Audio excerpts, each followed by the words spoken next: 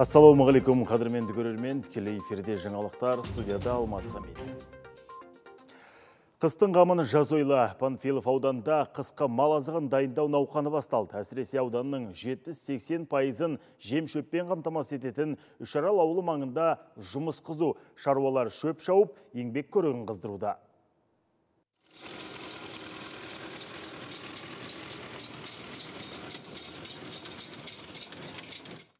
Үшарал аудан жемшөбінің 80 пайызын дайындайтын округ. Қазір мұнда шабындық жұмыстары қызу. Жоңышқаның бірінші орымы жүріп жатыр. Шаруалар енді күзге дейін бел шешпейді. Әусатықов шаруа қожалығы да тынымсыз тірлікте өшкен. 18 гектар алқаптың 10-ын орып жатыр. Жалғалған техникаларды тиімді пайдалануға тырысады. Тек қол күші өздерінен 5 ағайын 5 шақтап, ортақ істің орайын келтіруде. Қазір мінекі 10 гектар жерде жоңышқа бар.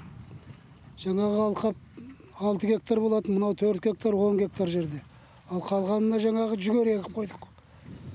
Мынаны бастағанымызда үш төрт күн болды шаптық екі үш күн кепті. Міне бүгін жинап жатырмыз. Уақытысында шабылған дүние міне көкпенбек болып адам өзің жең деп келеді ал 15-20 күннен соң мұнда құрақ шабылады. Оны базарға барып өткізгенше жергілікті тұрғындар беде дейді. Жоңышқа жетіледі. Оны екі үш қайтара шабады. Пішенді де солай кезегімен орады. Жаздың соңын ала жүгеріні жинап сырттан алушыларға сатады. Телімдей жерге осылайша тер төге жүре бұйырған нәсібін алады. Әрине шаруа жүргізуге мемлекет қолдауы сеп. Тұқым мен тыңайтқыш жүгеріге субсидия алады. Шаруашылық иесінің айтуынша шаруаларға жағдай жасалып отыр. Бірақ мына субсидияға порталға кіру үшін он мың теңгеден төлеп жүргенбіз. Енді міне осы бірінші июньнен бастап ол отыз мыңға көтеріледі дейді. Сол енді артық шаруалардың қалтасы көтермейді. Мысалы үшін мен жаңағы сегіз гектар жерге жүгері егемін жүгерінің барлығын есептейтін болса ол порталға кіру үшін отыз мың теңге төлесек біз жаңағы жүгерінің несін аламаймыз субсидиясын. Ол же алсақ алғанның өзінде ол уже ақтамайды.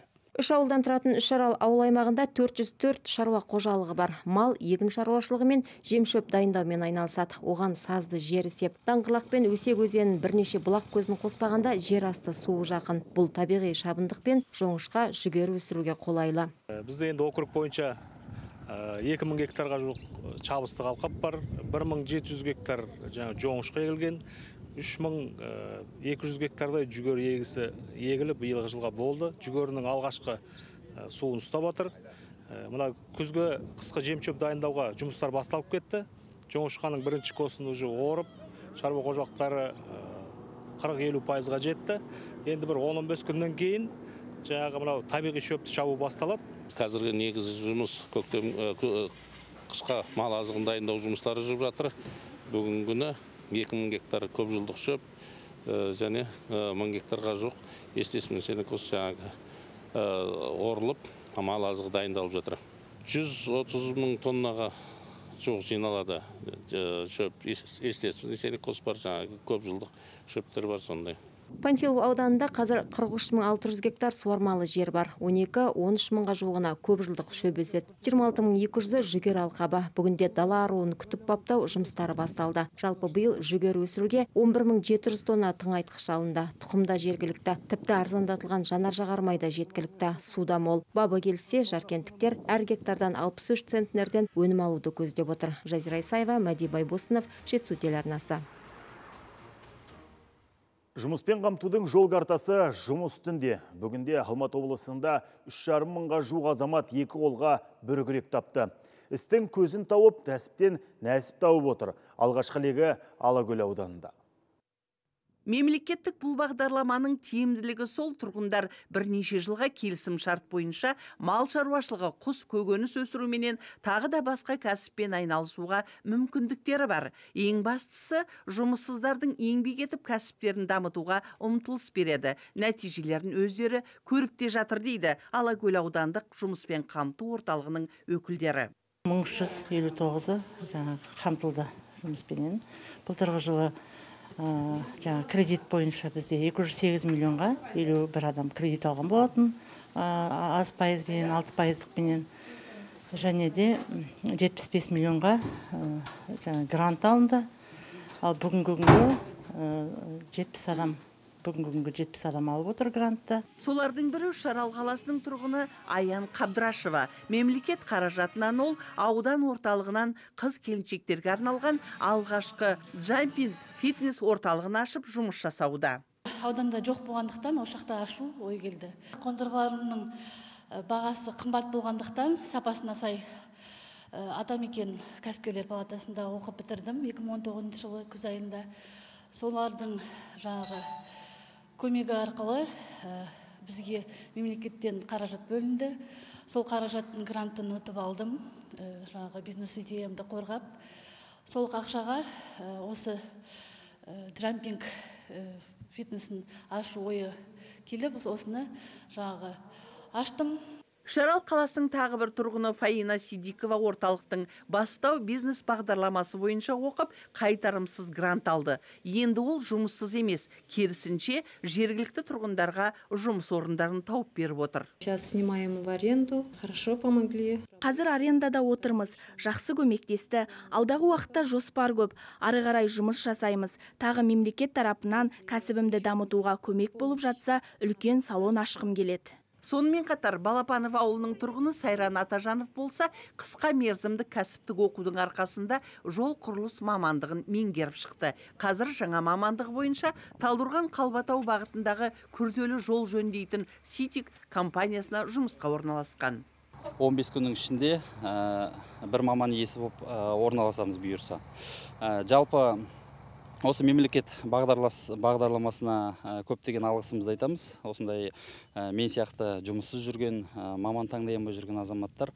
Жаңағы сала таңдап маман таңдап осындай жаңағы бір маман иесі болатын мүмкіншілікті болып тұр. Облыста жол құрылысы саласында жан жақты білімді мамандар тапшы.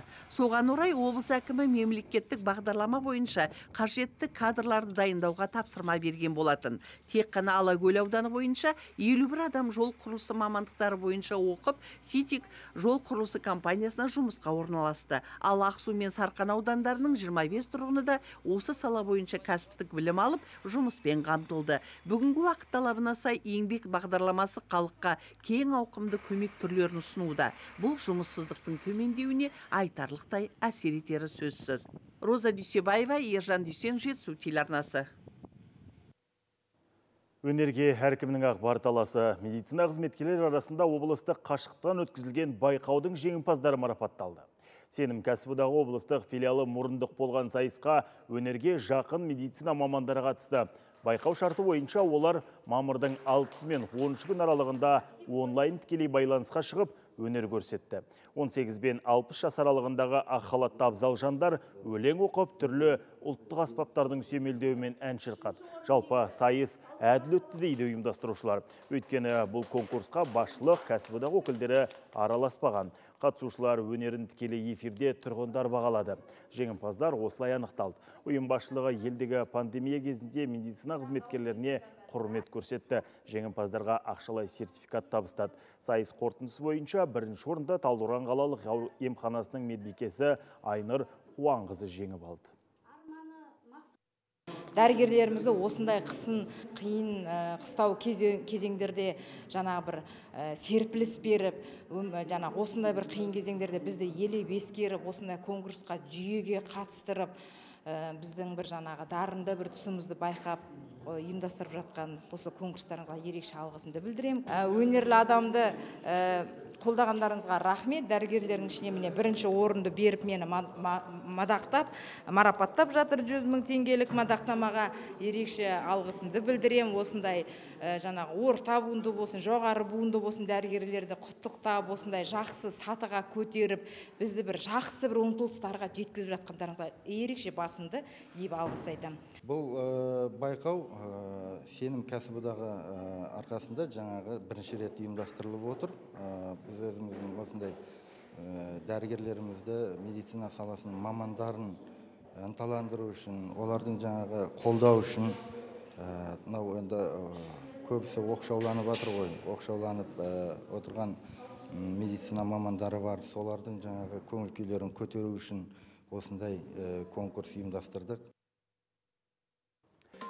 Құрметті көрермен әзірге айтар ақпарат осы біз өздеріңізбен жиырма отызда қайта қауышамыз